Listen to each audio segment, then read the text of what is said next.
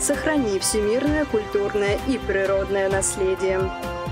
Новое Лаишево. Погоня за дешевыми квадратами или перспективный район. IFTE 2023. Мы тебя ждем.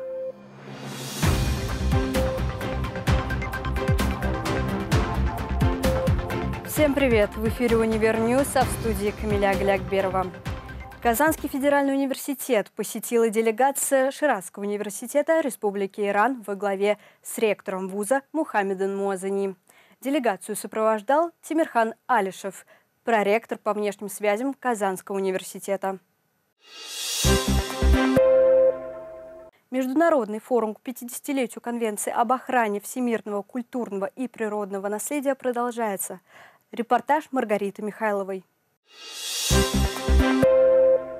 В столице Татарстана продолжается международный форум к 50-летию Конвенции об охране всемирного культурного и природного наследия. Участие в нем принимает около 700 участников из разных стран.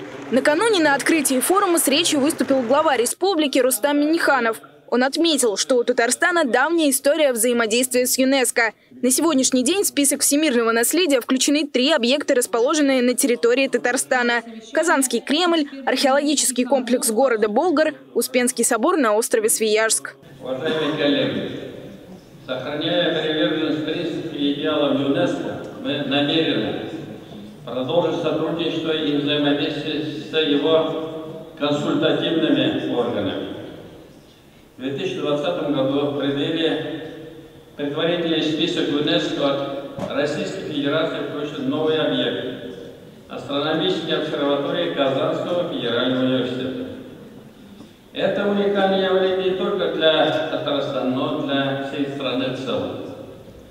Ранее подобных самостоятельных номинаций, связанных с темой науки, в России не было. Астрономические обсерватории совершенно новая номинация, которая представляет выдающуюся универсальную ценность, вклад отечественной, российской и татарстанской науки мировое культурное наследие. В рамках программы форума на разных площадках города Казань состоялись лекции – к примеру, в Институте международных отношений Казанского федерального университета спикеры рассказали участникам о процессе создания плана по управлению объектами всемирного наследия. Конференция построена на самом деле как классическое обучающее да. мероприятие, потому что доклады будут делать те люди, которые практически занимаются. А для участников нами предусмотрена деловая игра. Сегодня и завтра именно практическое применение знаний во время такой деловой игры. Несмотря на то, что основной язык конференции русский, языковой барьер не стал преградой для участников форума. В режиме реального времени каждый мог воспользоваться синхронным переводом лекции. Хорошо то, что есть на сегодняшний день, это преемственность хороших специалистов, но дело за молодыми, поэтому мы об этом будем говорить. Архитекторы, историки, реставраторы, археологи и управленцы в сфере защиты культурного наследия из 15 стран прибыли на форум по разным причинам. Однако их объединила единая цель, которую они несут по жизни, несмотря ни на что. Я здесь, потому что мы должны сохранить наше наследие. Мы должны передать нашу историю и сохранить культурные памятники для наших потомков. Форум продлится до 8 декабря. За это время участники не только успеют обменяться опытом, но и смогут посетить объекты всемирного наследия, расположенные на территории республики. Маргарита Михайлова, Хафиз Гараев, Univer News. В стенах Казанского федерального университета проводится международная конференция «Научное наследие Богородицкого» и современный вектор исследований Казанской лингвистической школы. Все детали далее.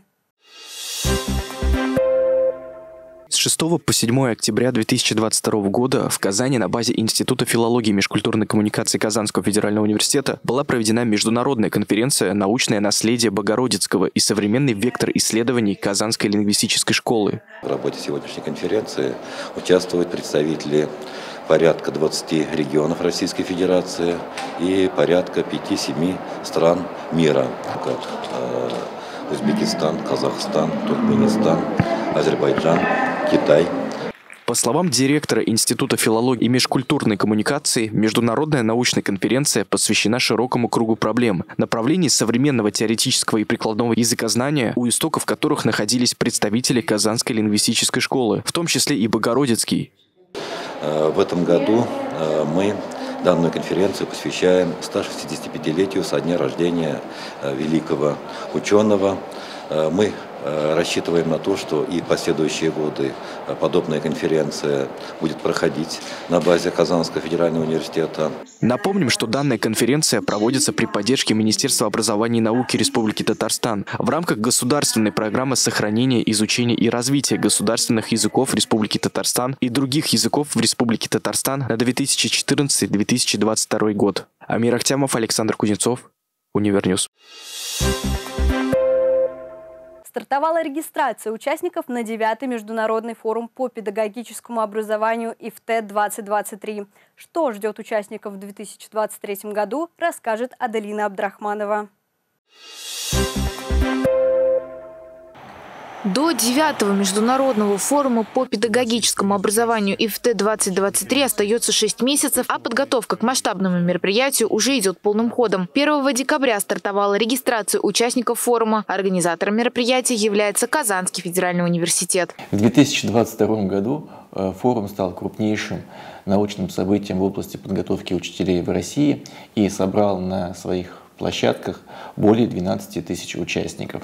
Они представляли порядка трех десятков стран мира, что говорит о неослабевающем интересе российских и зарубежных ученых к тем вопросам, которые мы поднимаем. Не менее грандиозные задачи мы ставим перед собой и на будущий 2023 год, когда мы будем проводить наш форум в девятый раз.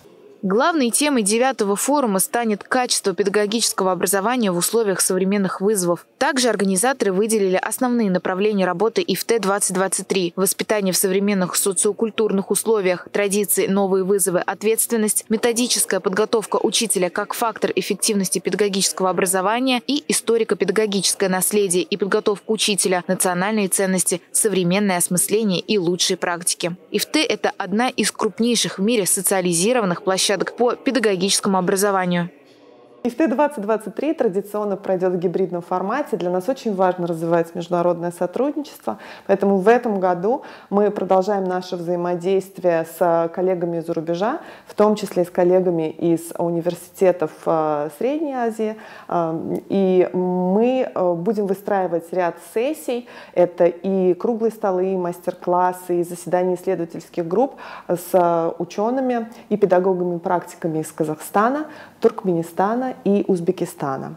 В следующем году форум IFTE-2023 пройдет с 24 по 26 мая. Напомним, что впервые такой международный форум прошел 3 июня 2015 года. В нем приняли участие 165 человек. Аделина Абдрахманова, Александр Кузнецов, Univer News. В ближайшее время госкомпания «Связьинвестнефтехим» совместно с партнерами застроит десятки гектаров фермы-2. Что представляет из себя проект и целесообразна ли реализация второго Лаишева, расскажем далее. С каждым годом в Казани остается все меньше незастроенных территорий. Демография растет, а качество жизни улучшается. Сейчас мы находимся на земле, где уже в ближайшем будущем расцветет новый мини-городок. Согласно генплану 2040, основная часть территории между фермой 2, Березовой рощей и микрорайоном М14 будет застроена. Совокупная численность предполагаемого населения нового жилого массива сопоставима со всем Лаишевским районом. Сейчас проект межевания территории проходит согласование, а работы завершат до конца ноября. По информации с полкома Казани, концепцию дорабатывает Институт развития города. Ключевой его целью является сохранение большинства зеленых насаждений с учетом текущей градостроительной ситуации. При этом ранее заложенные технико-экономические показатели также сохранят. По плану планируется постройка трех э, жилых массивов. Два из них, я бы сказал, строятся в такой более пустой от застройки территории, это бывшая сельскохозяйственная территория, а другая территория наиболее интересна, она находится на э, верхней террасе э, перед э, Нижним Кабаном, вот, на которой исторически располагалась так называемая ферма 2, это аграрный университет, то есть это комплекс исторических зданий, там же также сохранился ландшафтный, ландшафтный парк, и эта территория, конечно, заслуживает наибольшего внимания с точки зрения архитектуры и тех объектов, которые там будут построены. Жилая застройка, 13 жилых домов, бизнес и комфорт-класса на 9 тысяч жителей. Высотность от 5 до 23 этажей. В планах построить и 16-этажное общежитие для аграрного университета. Такое соседство, возможно, скажется на профиле школы. Она пока планируется с профильным аграрным уклоном. Ну и, конечно, самое слабое место для развития нового жилья близко Бана – транспортная инфраструктура. Сейчас территорию обслуживает лишь двухполосная улица Рауиса Гореева, прилегающая к жилой застройке и Фермское шоссе. Общественный транспорт здесь ходит только до конечной остановки фермы 2, от которой идти пешком еще около километра. Планируется ряд развязок, новых улиц, которые между собой соединят эти кварталы. Сама по себе территория, она достаточно близка э, к центру города. Я думаю, она будет интересна для жителей. Считается, что это направление самое незагруженное среди всех направлений Казани. Ключевой вопрос, сколько будет стоить новое жилье в районе РКБ и на ферме 2. Это хоть и окраина Казани, но дешево здесь может быть только на первом этапе, пока за жилой застройкой поспеют садики, школы и дороги. Остается только ждать и наблюдать. Карина Саяхова, Александр Кузнецов, Univer News. 5 по 6 декабря в КСК КФУ «Уникс» в рамках региональной программы Всероссийского студенческого форума 2022 «Твой ход» прошла проектная сессия с управлением университетом. Всего в мероприятии приняло участие около 100 студентов, а также представители администрации университета, кураторов групп и преподавателей. Это такая инициатива для того, чтобы студентам предоставить право назвать э, те направления деятельности, в которых есть существующие студенческие сообщества, и те направления деятельности, в которых сейчас нет студенческих сообществ, и они не могут влиять на те или иные процессы. На этом все. В студии была Камиля Галякберова.